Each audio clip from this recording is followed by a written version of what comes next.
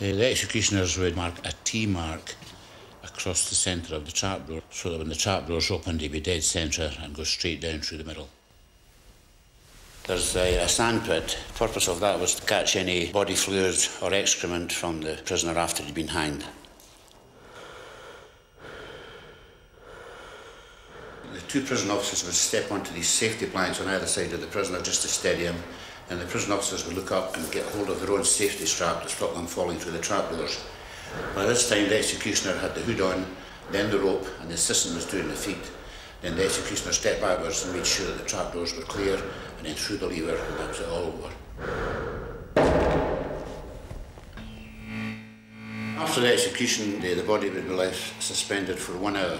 When the executioners would come back, he was re-examined again to prove that he was dead. He would then be lowered down into the chamber underneath, where his coffin would be lying there, and he'd be sealed, and he'd be taken outside.